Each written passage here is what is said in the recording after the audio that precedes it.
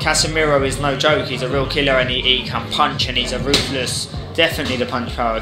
Casemiro can punch. He's up still to this day the hardest puncher I've been hit by. He will be looking for the KO every round of the fight. You know, he's, he, that's how he fights, he's, and uh, especially the, the, the timing of his shots over the top.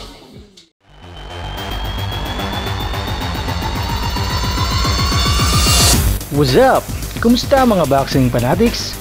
Welcome po ulit sa aking dimensyon, Yui Boy Boxing TV.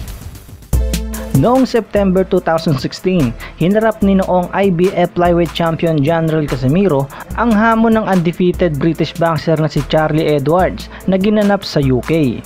Ito ay ang ikasyam na laban ni Edwards para makuha sana ang IBF Flyweight title ni Casemiro. Ngunit nabigo ito at tinapos siya ni Casemiro sa ika-10th round ng laban.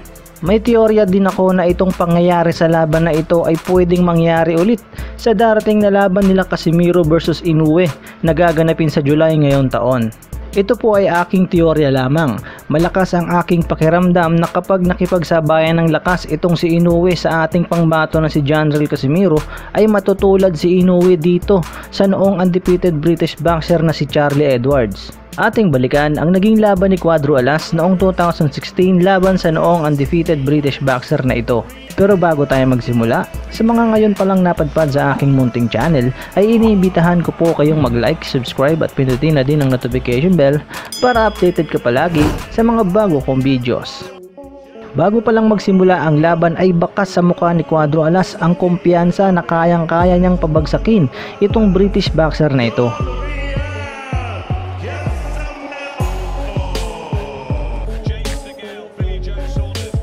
Makikita din ang agresibo sa labang ito ay si Cuadro Alas dahil sinusubukan o sinusukat pa ni Charlie Edwards kung hanggang saan lang ang lakas ni Cuadro Alas. Makikita din sa round na ito ang kalamangan ng ating pangbato pagdating sa mga power shot.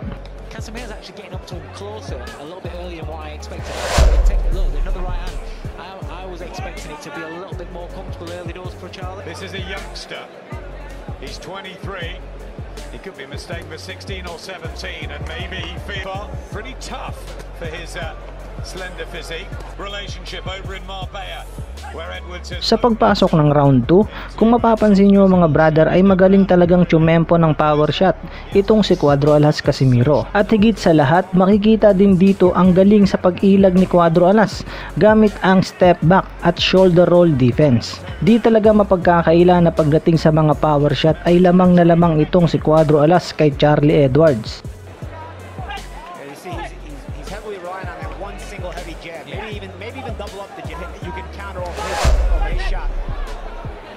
See, yeah, right. A huge right hand. At this point, get it out of him and, and get ready to counter it. You know that right hand's coming. You know he's going to shoot it. He's just looking for the moment. Maybe wait, let him fall for it and then counter with a big. Because Charlie is a taller guy. He can pull on that. Having to work hard to get in range to, to him, which you would hope that early doors, you know, Charlie making him work hard using Sa round 3 naman ay mapapansin nyo na nawawala sa momentum itong si Charlie Edwards dahil nga sa mga step back counter left hook ni Cuadro Casemiro has. look for something. If he's, if he's not there, then get your feet out of there. Wait, but you know, it's, it's refreshing to see kids that coming out of Team GB wanting to take.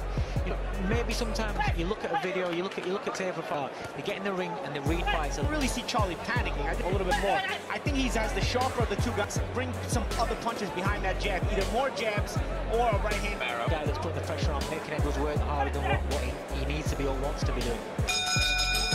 Kung mapapansin talaga mga brother ay malikot at maliksing gumalaw itong si Charlie Edwards. Ngunit kahit anong liksi gumalaw ng isang boksingero, kapag ikaw ay natsyempohan ng isang boksingero na magaling magkalkulado, ay paniguradong may kalalagyan ka. Tulad na lang ng mangyayari dito kay Charlie Edwards. Dito din naramdaman ni Charlie Edwards ang yanig ng lakas nitong si Cuadro Alas. Yeah, he's a champion that believes in himself. Is Casimiro, and uh, And just started to dig in some body shots and you see, really winging them.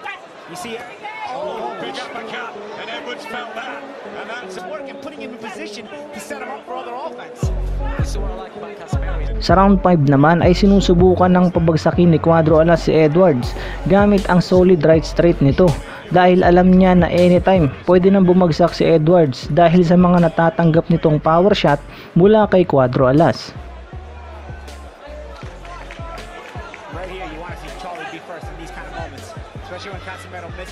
You got to initiate the offense right back.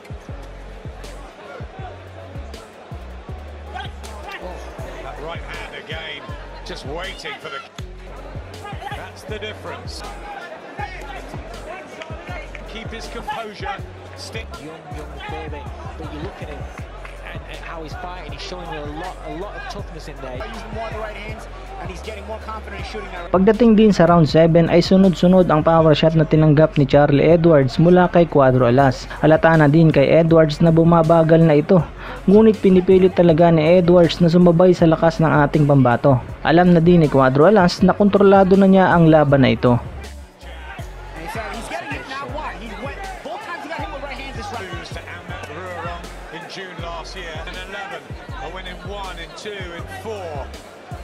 The power that he has. He'll have enough zips like that. Time ago by Steve Gray.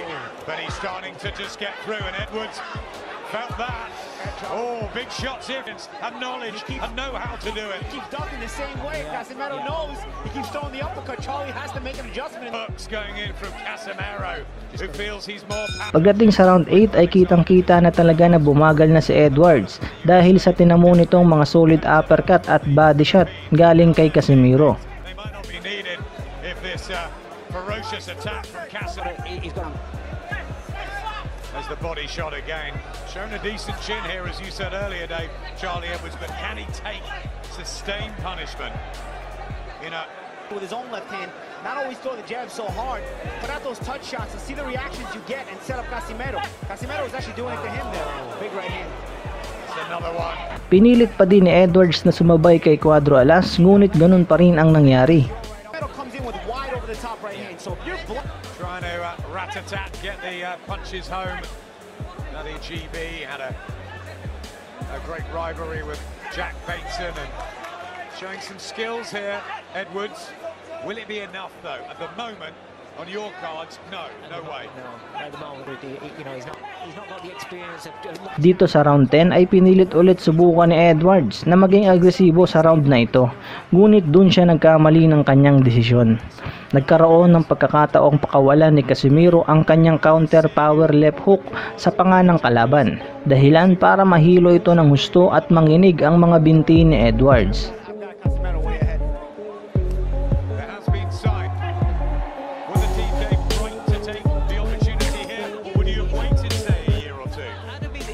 Casimiro to he's shown me in a world title fight. You know, and like I said, you agree? Yeah, it was a war. So, you know, you, even if you lose, you're not going to So you struggled when you were in that division. when, when, when I boxed, you know, way back, it was about 26 fighters in Britain. Oh, beautiful shot. The walk forward, Steve giving Sa pagkakataon din na ito ay dito na din itinigil ng referee ang laban.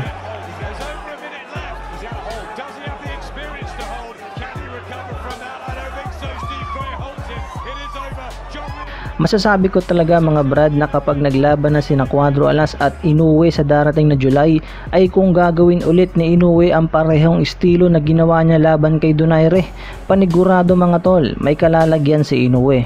Katulad na lang sa nangyari kay Charlie Edwards. Kay Donaire pa nga lang na hindi naman gaanong malikot sa ring ay nagawa na nitong basagin ng ilong at orbital bone ni Inoue. Kamuntikan din niyang matiki o si Inoue sa round 9 ng kanilang laban. Kaya lang mga brad, kitang kita din talaga na kinapos na si Donaire at napagod. Ito po ay aking theory lamang mga brad.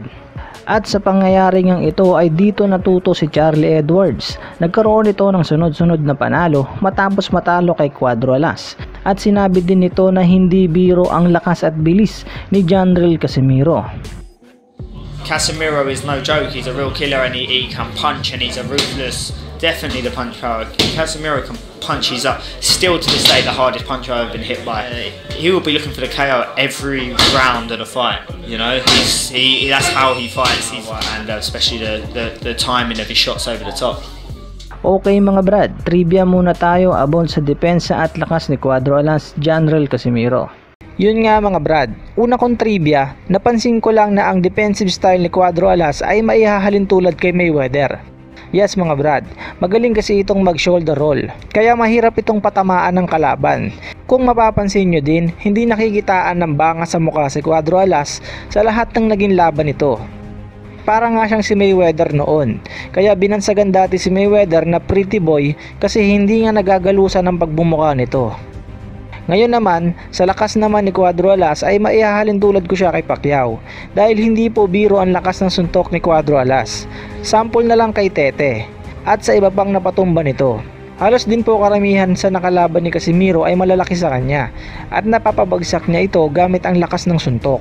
Gaya nga din po kay Manny Pacquiao. Hindi ko naman sinasabi na kasing bilis niya si Pacquiao lalo sa combination. Ang sinasabi ko po is yung lakas. Kaya din ni Casimiro magpabagsak ng mga mas malalaki sa kanya. So yan nga po ang aking trivia. Para sa akin lang po yun. Anong masasabi nyo sa video ito mga brother?